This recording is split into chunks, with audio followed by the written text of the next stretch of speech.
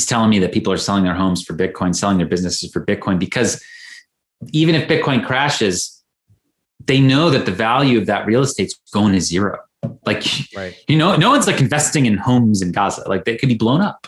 So, um, so he's like, look, worst case, it's the status quo, but best, best case, like Bitcoin keeps doing what it's doing over time and we're, we're, we're getting out of here. So this guy, like the last thing he said to me basically was like, it's my, like, I'm saving up for my kids and this is my ticket out of here. And, and I just think that the, the elites in the West are just so clueless about that. Like that, even in one of the most restrictive, repressive, dystopian places on earth, Gaza, people are using Bitcoin to escape. It's just remarkable.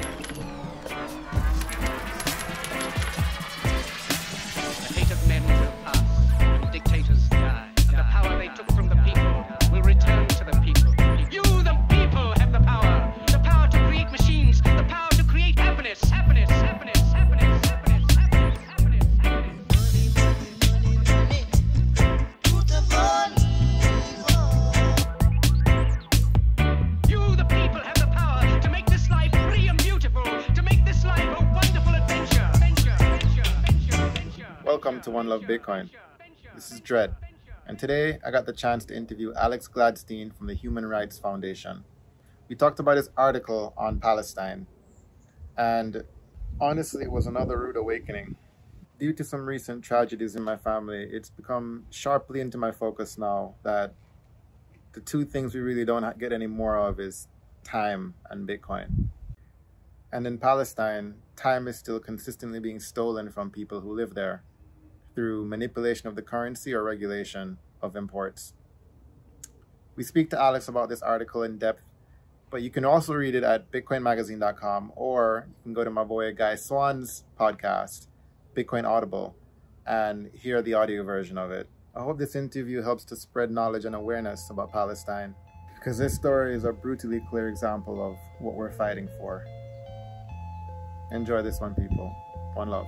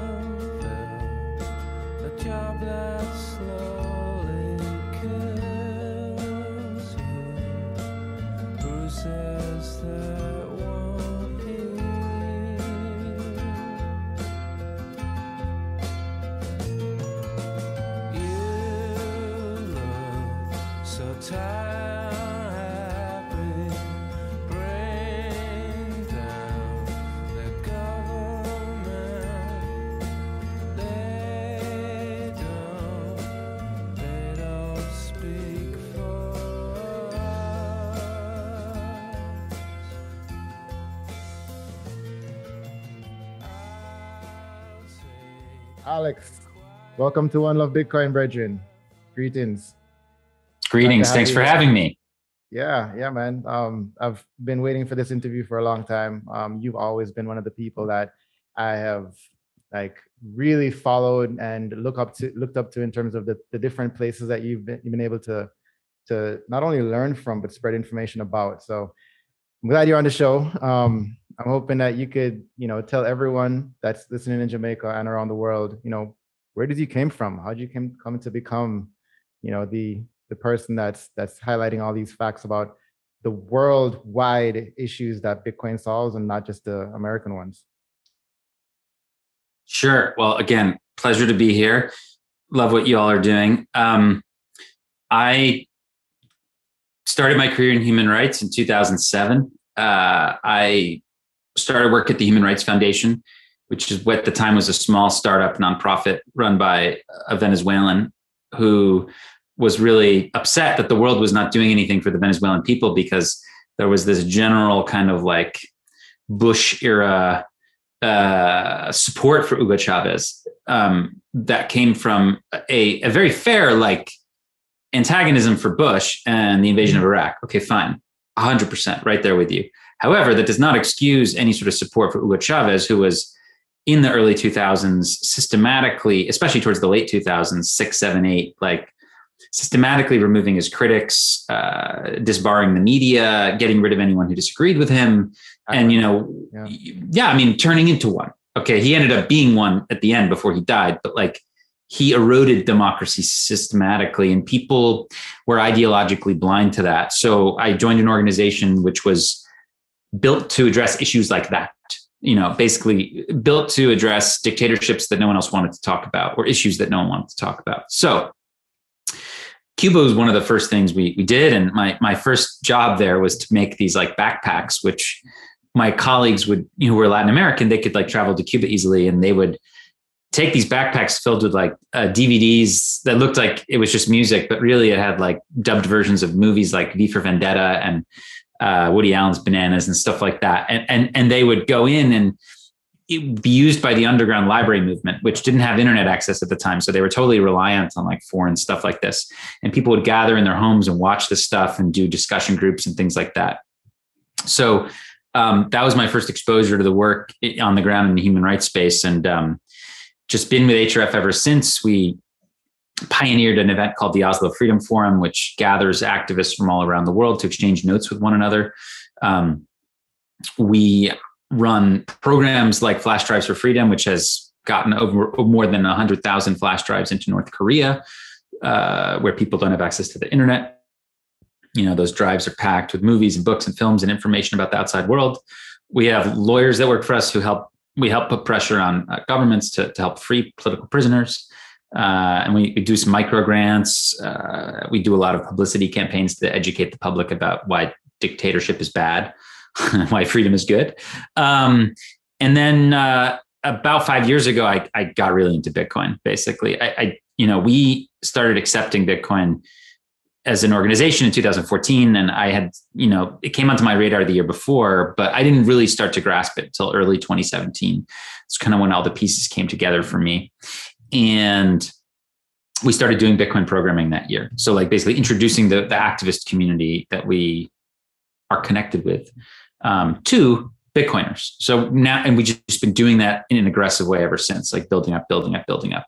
So now when you attend an Oslo Freedom Forum event, there's like a Bitcoin Academy track mm-hmm. where you can learn about all the basics. Like w- why would you need it? How do you use it? Like, tell me how I can raise money with it. Like what are some best practices, et cetera, et cetera. So now it's kind of like we're going to have that full scale service for the activist community. We think it's very important. We've done a lot of digital security work in the past. Starting in 2013, we, we started to provide robust security training for activists through partners, whether it be EFF or Citizen Lab or companies themselves that made these products, mm-hmm. looking at why you would want to use something like Signal or a VPN, et cetera, et cetera. So Bitcoin is really just the next iteration of that. You have the struggle for communications privacy, and now you have the struggle for financial freedom. So um, that's part of the menu now that we offer. And I've just become fascinated with learning how people around the world are discovering Bitcoin and using it to hmm. fight back against oppression and to escape from unfair circumstances. And I've been doing a series of essays on this idea since April for Bitcoin Magazine, where I don't have any restrictions on me in terms of I can write as much as I want. So these essays tend to be very long. And I've been exploring all kinds of topics in terms of like mainly based around interpersonal interviews with people from different countries and just trying to give them a voice and, and tell their story in an effective way, which I think is the most important way to do it is through human stories. If you don't have the human element, it gets boring um, you can have all the stats or statistics in the world, but if you don't have a story, if you don't have a person, it's not as compelling, it's not as entertaining, no one's going to read it. But what I found is you can like weave the stats and the history in with the stories, and it's it's even better. Like it, it really is a great medium. So that's that's what I've been specializing in is trying to weave that all together. And my latest piece came out a couple hours ago. I poured more work into it than any other piece I've done. It's like 13,000 words and it's it's about Palestine and it's about the economic restrictions these people have faced over the decades and how they they're using Bitcoin to get out basically um, and to and to give mm-hmm. themselves a little bit of sovereignty in a, in a world where they have very little basically and where everybody else is aligned against them not only Israel and the World Bank and the IMF and the Americans, etc but even their own rulers. I mean, the yeah. Palestinian Authority is so corrupt, and, and they basically exist to siphon off whatever they can for themselves. And they've made their own little elite class, and um, they're not looking out for the average Palestinian. And and I mean, of course, Hamas is even worse. So, you know, it's not a pretty situation. Basically, you have a situation there where Palestinians are more optimistic about today than tomorrow, and that's that's a very deep and depressing thought. Like they, they don't. There's just very little hope left because they're so jaded. Like in 93, 94, you had the Oslo process. Okay, there was going to be peace in the Middle East. Right. No, man, that's not what happened. Like they they got mm-hmm. their sovereignty taken from them in a, in a sacrifice in exchange for personal gain and, and fame for Arafat and his cronies. And you know, a bunch of people won a Nobel Peace Prize but what ended up happening to the average Palestinian, the Palestinian economy, was like increased dependence on not just the Israeli economy, like it had been during the military occupation, but foreign aid. So basically, like if the PA doesn't get uh, VAT and customs duties from Israel, which which can be delayed and withheld, if it doesn't get foreign aid, it can't it can't finance the public budget. It can't pay anybody.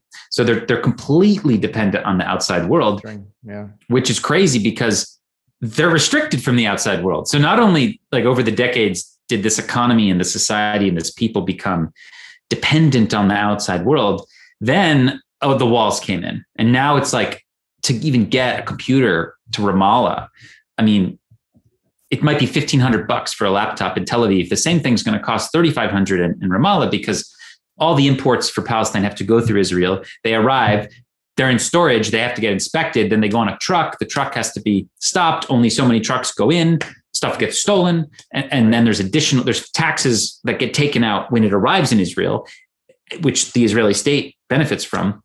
And then there's taxes that taken by the, you know, by the PA on the merchant. So by the time there's a sale in Ramallah, even though they use the same currency as in Tel Aviv. They all use shekels. There's massive inflation in the in the PA in the PA's territories in the West Bank, whereas there isn't in Israel. In fact, the Israeli currency has been strengthening against the dollar over the last, um, you know, over the last 20 years. 25 percent. The, shekel has has appreciated against the dollar 25 percent, and explored a lot of these ideas like that people that, that I never thought about before. Like, guess why the shekel is appreciating?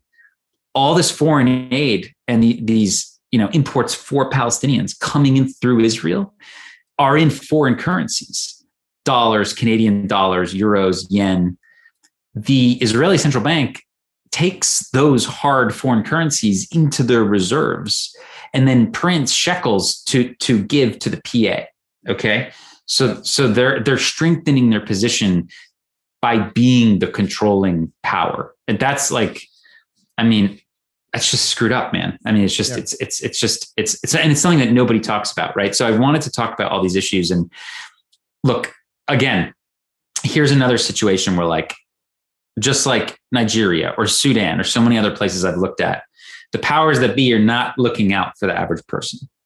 And, you know, regardless of who's in charge, the current monetary financial economic system is, is something that benefits a handful at the expense of everybody else. So Bitcoin comes along and is a way out. So yeah. these people can connect to this global hmm. economy. And even in Gaza, I mean, people are selling their homes for Bitcoin. And I was like shocked. I, I got on the phone.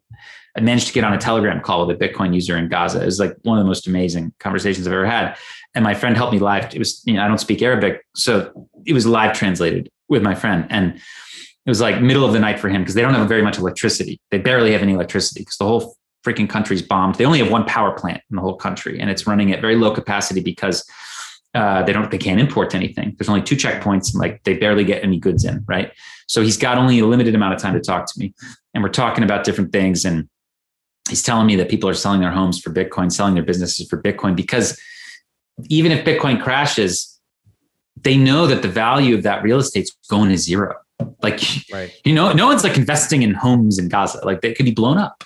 So, um, so he's like, look, worst case, it's the status quo, but best, best case, like Bitcoin keeps doing what it's doing over time and we're, we're, we're getting out of here. So this guy, like the last thing he said to me basically was like, it's my, like, I'm saving up for my kids and this is my ticket out of here. And and I just think that the, the elites in the West are just so clueless about that. Like that, even in one of the most restrictive, repressive, dystopian places on earth, Gaza, people are using Bitcoin to escape. It's just remarkable.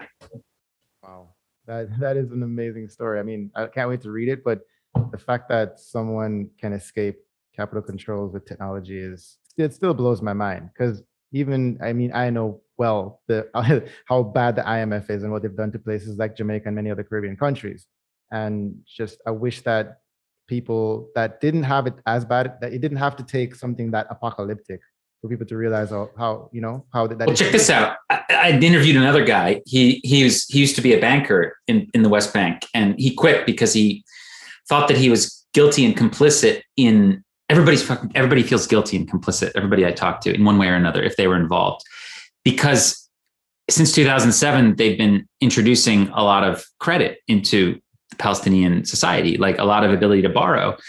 And yet nobody invests the money into businesses. They all buy like uh, expensive weddings, uh, real estate, downtown that they can't afford cars things like that. So like yeah. this guy's saying you might go to ramallah and actually think it's like a pretty wealthy city in some areas because everything's flashy but everything is bought with like insane leverage essentially. And he felt like he was only increasing the dependence of a society on the outside world through what he was doing. So he quit and became a bitcoiner. And we're talking and what's interesting is like there's so many different levels of bitcoin knowledge right? So this dude's been in Bitcoin for a little while. He knew very little about the Lightning Network. So while we were talking, I had him download the Muun wallet, um, and I sent him five dollars in Lightning. And I'm in. I was in Boston at the time, and he's in Ramallah, and it literally was instant, right? And he's just like, "Wow, this is amazing!" Because there's no checkpoints, there's no delays, there's no trucks, there's no red flags, there's no confiscations. Israel doesn't take a cut the Palestinian Authority doesn't take a cut. Nobody takes a cut. It was almost free. That's magic, he said. He said, he said it was like magical. And, and then you start thinking about the implications of that, right? Like the average Palestinian living in Europe or wherever, trying to send money back to their family, they got to use Western Union. It's like 30 or 40 bucks to send 500.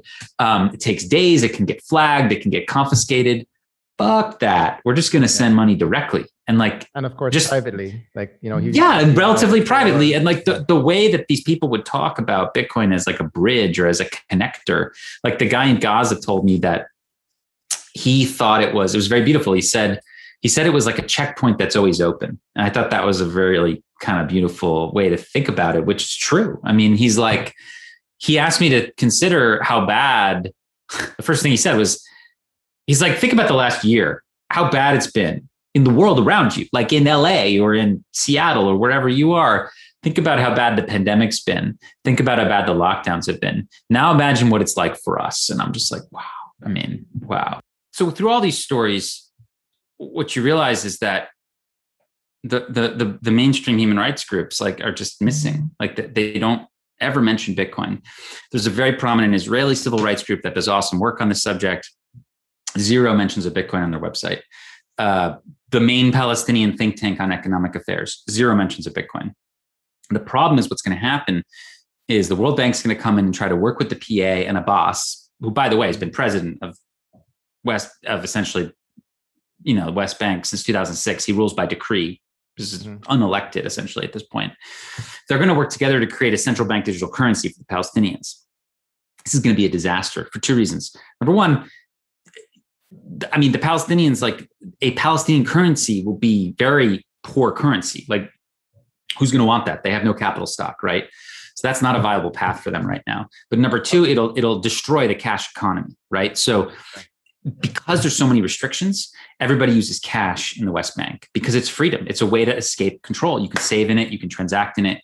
Um, it's a way to escape control. Well, if you get rid of cash and you have everybody use this like central bank liability on a phone, there's no more escaping the control, right? So this is why it's so important to to educate people about Bitcoin. And my article is going to go into Arabic as of tomorrow. I'm very excited. I'm happy to share the knowledge and love, and you know we'll we'll we'll get there. I mean, I look, it's just like I get again. I think a lot of the activism in today's world. Eh, speaking as an activist who's certainly been guilty of a lot of this, like dude, it's often virtue signaling. Like, what, what does mm. tweeting about something do? Sometimes it's good, but like, dude, a lot of times it doesn't do anything. So, excited to actually finally have like something that I feel like I can contribute to. I said very little about this Palestinian the Palestinian issue over the last decade because I just first of all I didn't know a lot about it and I used that as like a mental block essentially or an excuse. And second of all, I felt like I didn't have anything to add.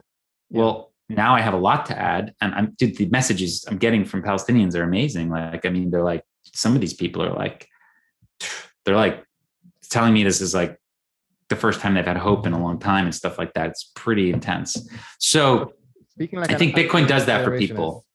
Speaking as an accelerationist, right? Or putting on my accelerationist hat on, mm-hmm. you feel like maybe the fact that they, you know, whatever the ruling the ruling part of of the of Gaza is trying to create a CBDC. I don't know if it's the, the Arab League of Nations or whoever that does that.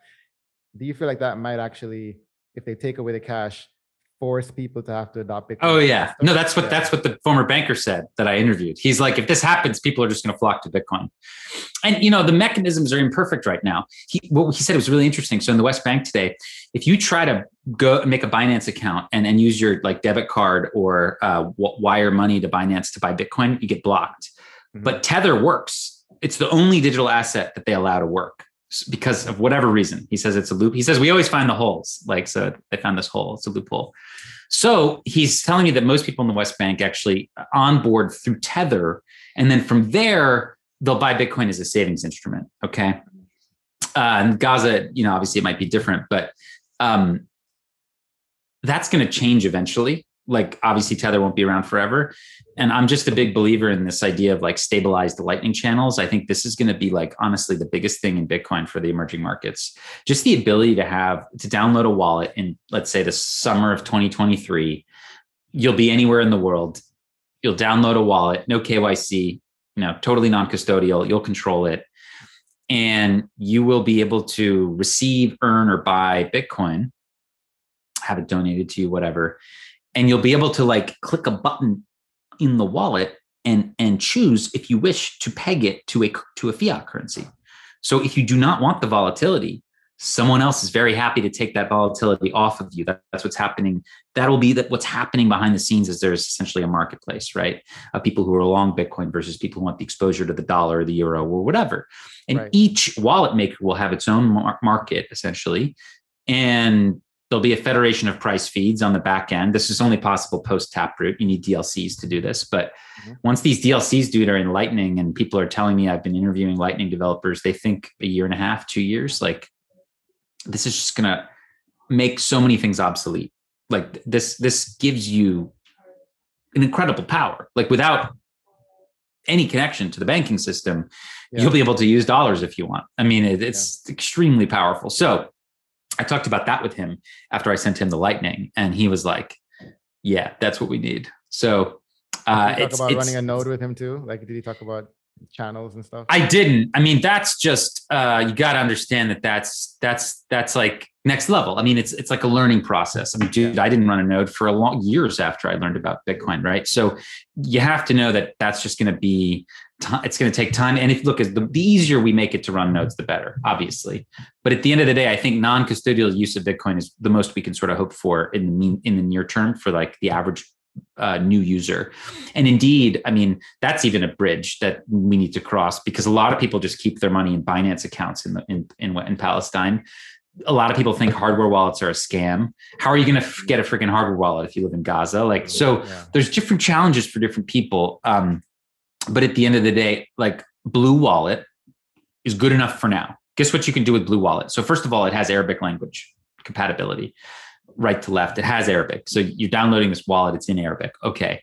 You can set up multi sig with it. So, you and three friend, you and three or four friends can have a three of five. Okay. That way, the PA, even if they come to your house at night, they can't take your shit. Okay. So, for people who've had their stuff confiscated for decades, that's pretty cool that they can now have like their stuff in, in a way that's unconfiscatable. That's a major innovation. So, um, yeah, I mean, and this goes again for like any vulnerable population. I mean, it doesn't, I'm just using Palestine as a general proxy for like dozens of other cases around the world where you have authorities that want to steal from you and confiscate and control you, right? Yeah, yeah, it's happening everywhere. I mean, it's so random. I was just thinking about you talking about Yasser Arafat, and in um, one of Fode's videos, there's a park. There's a park Palestine, I think, in the middle of San Salvador, and it was dedicated to Yasser Arafat because, like you said, like you know, there's a rules-based system that we can follow at Bitcoin to make something better, but people don't always follow along. There's people that still actually revere him down there, and there's a whole well, eh, political conflict around the park. well, crazy. but it's like any of these revolutionary leaders that went rotten. I mean, yeah. without discussing his PLO days, like there's tons of revolutionary leaders that that that became dictators or corrupt or whatever. I mean, look at freaking Fidel Castro. Look at uh, Robert Mugabe. I mean, look at even some of the ones who got elected in the beginning, like Putin or Hugo Chavez or Erdogan yeah, in Turkey. Even Gaddafi seems to start off really good, right? You, you never know. Absolutely. For today's standpipe, it's going to be palestine.onelovebitcoin.com. You guys can go there. You can get some free sats. Make sure you have a Lightning wallet. I always say, hey, Jamaicans, go there, but honestly, if you're from Palestine, you should go there too. Each one of these faucets, I would love to spread around the world to each country that it's named after. So, if you're from Palestine, check it out. If you're from Jamaica, I'm telling you to check it out. And if you're from the US, as usual, go to swanbitcoin.com slash Rastafari go get some free Bitcoin on your own while you buy, while you DCA. All right, guys, back to the show. So again, a lot of these folks who start a revolution, you know, they, they, they don't finish it and they end up in many cases making the country worse. Yeah. So what's inarguable about Arafat, despite the fact that he was so revered around the world for various reasons, even he won a Nobel Peace Prize, um, is that he was worth billions by the time he died, and he was siphoning off all this money. And and again, this goes back to the money issue of the mechanisms, right? That that Bitcoiners are really interested in. They want to know about how the money works. So basically, through the Paris Protocol, which is this document that was drawn up as part of the Oslo Accords that governs Palestinian uh, fiscal, monetary, economic policy, trade, tourism, all the stuff. Basically, what, what would ha- what was laid out was that Israel would actually get to control everything going into the Palestinian territories, which is one of the reasons they agreed to the Oslo Accords was that they knew they'd have they'd retain economic control, right? which is Oslo two, Oslo two. right? This was, yeah, this was well. This, so the Paris Protocol was signed separately in '94 during the first wave, and then it was incorporated as like Annex Five or something like that as part of Oslo Two okay. in, in late '95. But it, but it was basically what I'm saying is that the Israelis agreed to give the Palestinians political economy, partly because they knew they could keep the economic auton- their economic control. So any when the Palestinians are buying anything from abroad, they're importing or exporting, it all has to go through an Israeli correspondent bank, and what ha- and and a huge amount of uh, Palestinians, of course, work in Israel, and now they would get Israel gets control over their, the, you know, essentially the, the money that they make, things like that. Yeah. So what hap- what happens is like, first of all, the, the Israelis basically take every month, once a month, they collect all of the VAT, customs duties, taxes, all these things, and then they clear it to the PA like once a month. This is how it works mechanically. Like the Ministry of Finance in Israel does a wire to the PA in shekels, so they they credit their account, right?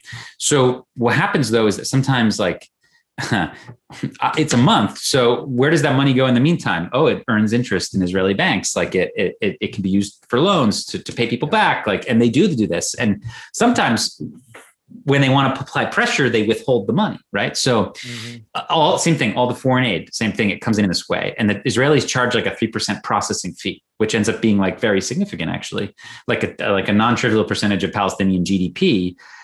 In my article, I use a number that I found of about three point seven percent of GDP of the Palestinian GDP is leaked to the Israeli treasury through this stuff.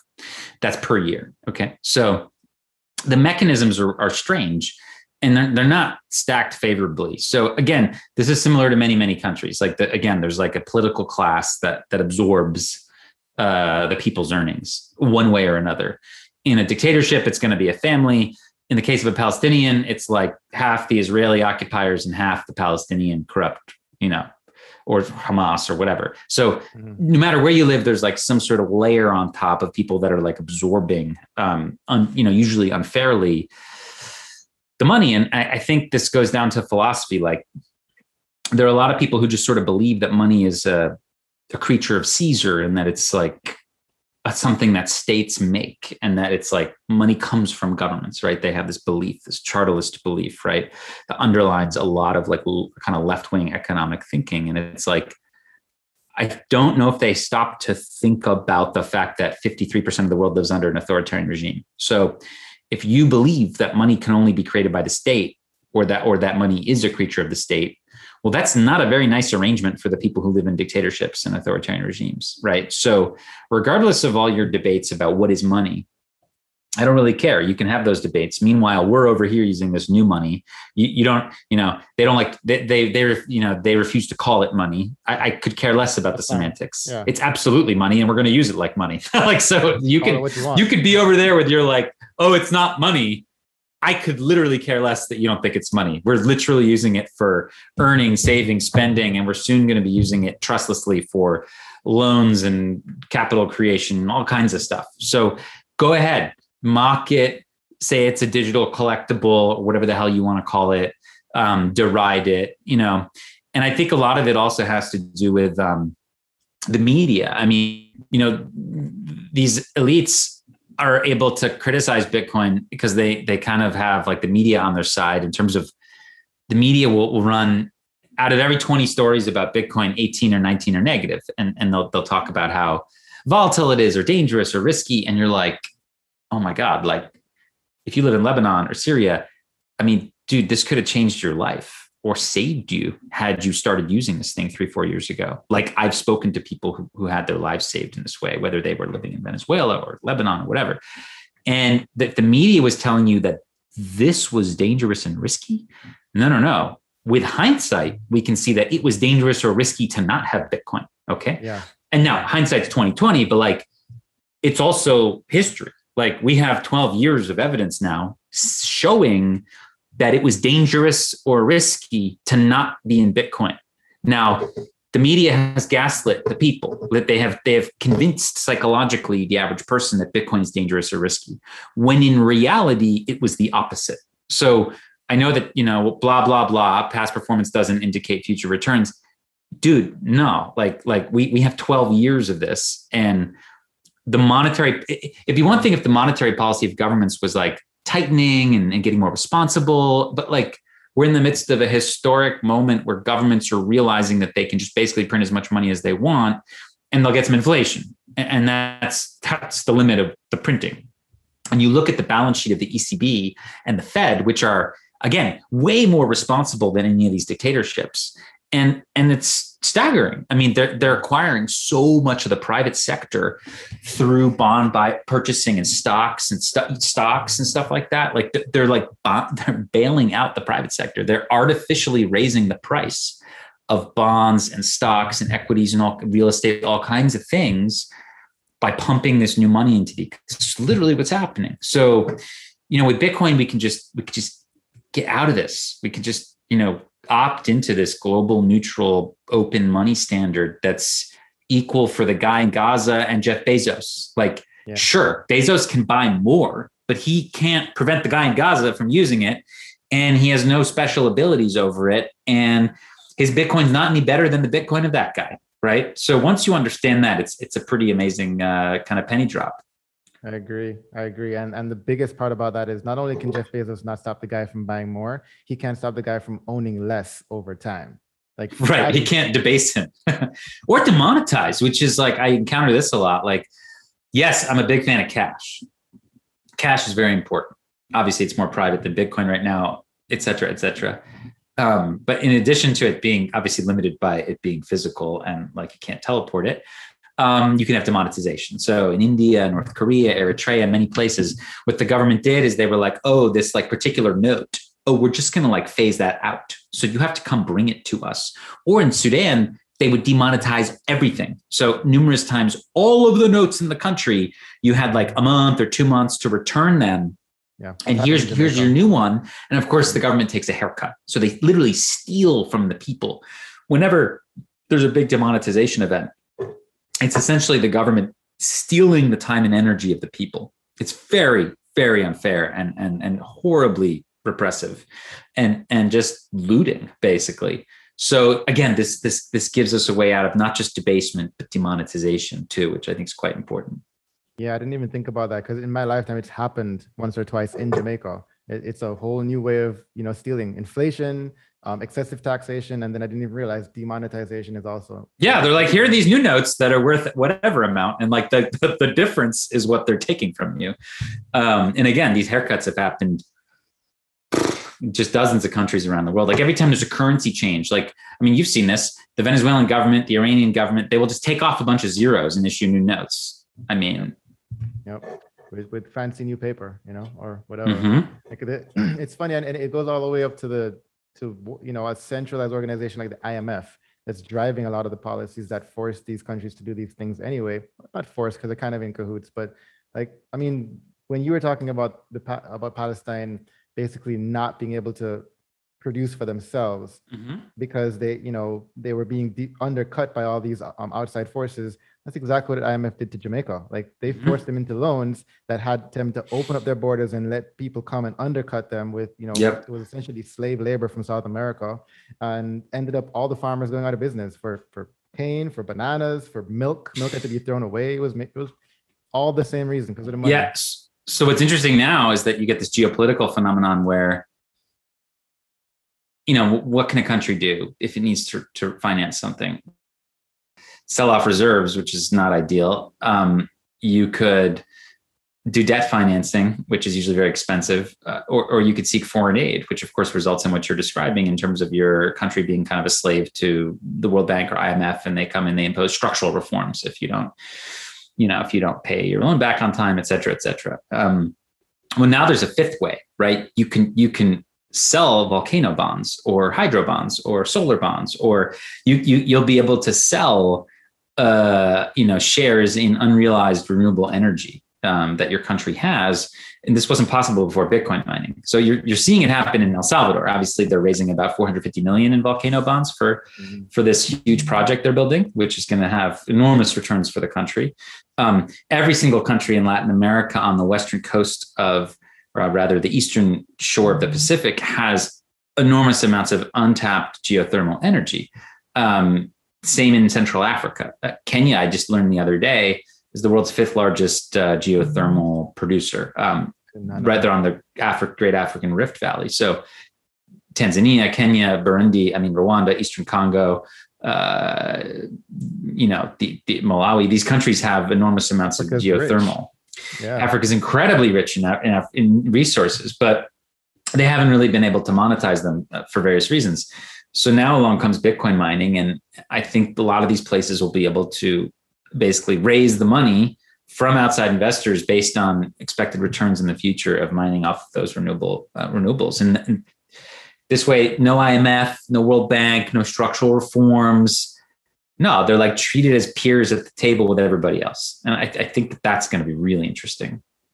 That is that is an exciting future. I'm looking forward to. So I don't, you know, I don't know what that holds for Jamaica, given that you know, for small island nations, there's you know typically you have less but i mean certainly solar i mean you know you know I, I don't know again like there's other stuff lurking um, obviously in the caribbean there's going to be quite a few countries smaller countries that can do geothermal projects so um, as as as uh, as probably has been uh, a bane of their existence in the last couple hundred years whenever a volcano would explode on one of these islands. Hey i mean you can now use that to your benefit. So um, we'll have to see. But but certainly an interesting thing that that as we've discussed, not just Bitcoin empowering individuals, but also empowering developing nations. You know, in a world where they are unfairly treated, uh, or rather, they face like huge disadvantages versus great powers.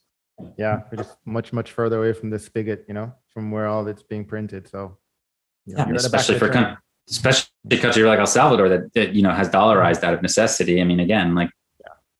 they don't benefit from the extra money printing. You know. Exactly. Well, I, I, really hope that I get to continue reading your articles. Um, the long form articles really get me immersed in them, like the stories that I've, I, every time I hear a story, I'm like, okay, I need to dig into this country more because I want to learn everything about it. And um, I'm looking forward to all the rest of them. And I'm looking forward to this Palestine one as well. I know it's a beast of a read, but yeah, we'll be digging into it right after this. I got two questions for you before before we wrap it up. Uh-huh. Um, one, I always ask, what is your favorite song? Because I like to play like your type of music at the beginning of the the episode. Ooh. Um, it depends. I'm very eclectic in my music tastes. Um, I've been listening to a bunch of electronica recently while I've been writing, but my favorite music is probably Radiohead. Um, so I would maybe go off uh, something from uh, from Kid A or uh, from Hail to the Thief or In Rainbows. Um, okay. you know, an opening riff of one of those songs. I, I also think there, there's um, a lot of the uh, Radiohead songs have great political um, messages that resonate with Bitcoin. With with Bitcoin, I think mm-hmm. two plus two equals five is obviously a, a great one, and um, nice.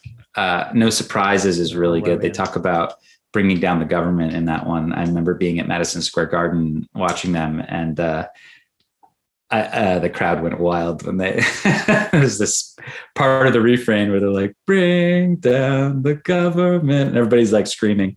It's great. So so i like that. Yeah. Okay. I might be using one of those. And then um i guess this is more around you know how how it, it came to you but did you have the whole three touch thing happen? Or was was your exposure to bitcoin kind of in 2017 you're like all right i need to dig into it. Or was it like a 2013 14 moment you're like ah, that's just no, I was like, I'm a, I'm, I did one of these personality tests. I'm like 99% uh, skeptical. So I'm like more skeptical than 99 out of 100 people in the room.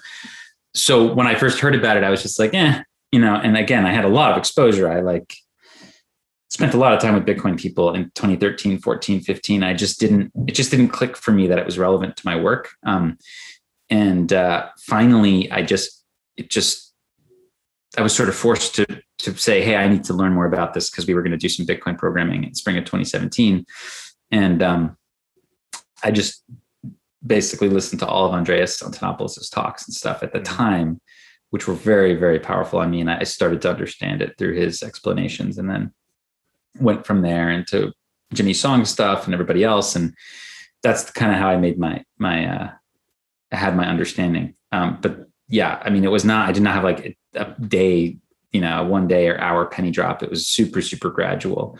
Um, it took years um, for me to really grasp it. Nice. It's good for everyone to know that you know, no one's superhuman. Like you, you took your time and did the work like everyone else. You know. Yeah, I had to put in a lot of work because you know, again, at the beginning, you're like so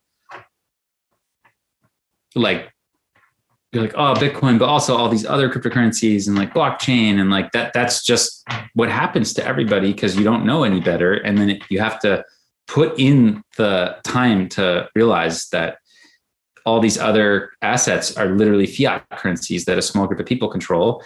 And they might be interesting for whatever reason, but they're not Bitcoin and, and nothing else is. And they are in many ways going to be uh, vulnerable to the same problems as the fiat currency system as, as the very reason why you have a bailout of the banks in the first genesis block of bitcoin like there's ability to change the monetary policy of every other cryptocurrency. So i mean that, that's really what we're trying to escape right? Um, and in bitcoin like we have that escape and, and i think that's just like what's so so important and that takes a long time to learn. Um, yeah it takes a long time to learn. And um, i'm really looking forward to, to um, seeing what happens at the oslo uh, Freedom Forum mm-hmm. as well because yeah, you know, it's, it's going to be awesome. Not only is it, yeah, it's, it's like not only is it um, aligned with what I'm trying to do, it also teaches me how to respond and react because it's not just you know bringing Bitcoin knowledge, it's also bringing activism knowledge that I'm I'm you know still trying to learn myself in a fledgling fledgling state. I would say I'm just an observer, so it's really interesting to to see how many different angles you start looking at the world from once you you know open yourself up to more than just one one country really or one one culture or one way of living. It's a great experience to give and receive basically is what i've found. That um, you have a chance to help but also grow your mind and um, call it a bubble breaking machine, the Oslo Freedom Forum, because it just breaks all these bubbles about how you think about the world, um, which, which, is why I'm uh, excited about it and uh, really, really excited about the ability to mix the Bitcoin community with the global human rights community. That's always like a big dream of mine to do, and we get to do it. So, what an honor! We'll do it. We'll we'll get it done. Well, orange. If you, we'll, we'll, we'll orange pill the the red pill, folks. I like that orange pill or red pill. Alex, I know it's been like about an hour. I don't want to take up too much more of your time. Um, but if you have anything else you wanted to tell, you know, my all the people that watch this show, whoever it is around the world, you know, let them know, you know, who you are, where they can reach you, um, how they can see your articles and your mm-hmm. stories and everything else. Yeah, uh, you can follow me at Gladstein on Twitter. Uh, I'm building a little website for all my writings at Alex um, uh, alexgladstein.com. Um, I I also have at Bitcoin Magazine a an archive of, of like a series I've I started um, in um, April that began with a piece about why Bitcoin is a Trojan horse and has has gone through like a lot of geopolitics. So I've done seven or eight pieces, which I will probably put into a book um, later this year, which I'll which I'll you know publish, and it'll be basically like you know geopolitics of Bitcoin or something like that. Nice. But each, each one of those stories I'm doing is, is will be a chapter basically. Okay. You should have like Audible by Guy Swan or something. oh yeah, well, Guy is killing it. Every single one of my pieces you can you can listen to, which is super cool. And Guy is no doubt working through the Palestine one as we speak because it's really long. so I'm, I'm so grateful to him. But uh, yeah, amazing guy. Cool, man. Well, thanks for all the time you've given us today. And um, one love, brother. I'll see you soon. Thank you.